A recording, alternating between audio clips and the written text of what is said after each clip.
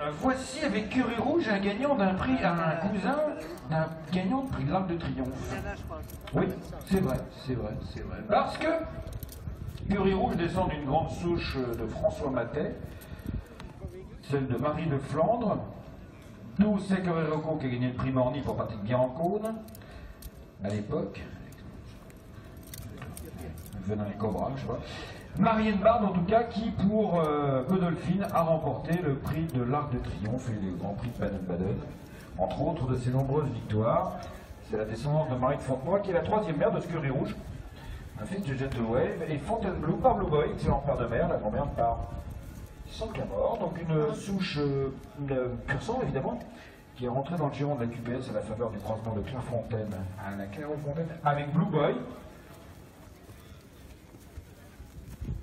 Et Fontainebleau a été recroisé avec un pur sang, Gentle Wave, euh, d'où l'arrivée de Scurie Rouge dans le giron de l'Anglo-Arabie.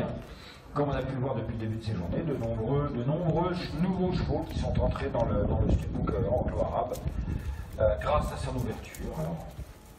évidemment, d'aucuns diront Ah, mais c'est comme dans temps.